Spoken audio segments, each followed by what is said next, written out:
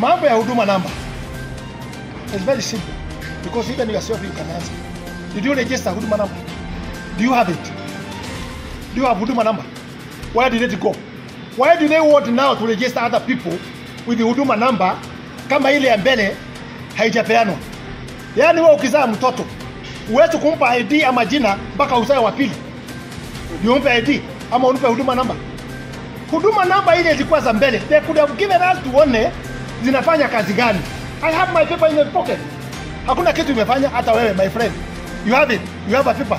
Wapeane hiyo, alafu warudi watuambie hiyo ingine tutafanya, na wasituletee watu kutoka nje, kwa sababu wameona wameshindwa na ile pahali tunaenda. So we are suspecting there must be something fishy and Kenyans don't be cheated.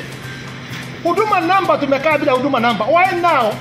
Baada ya kushindwa kila kitu na ground na popularity yao imekwisha ground, they bringing huduma namba tena ya pili?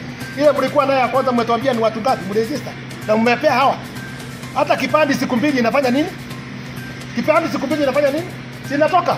That's why we are suspecting these guys want to steal the election and they want to rig the election.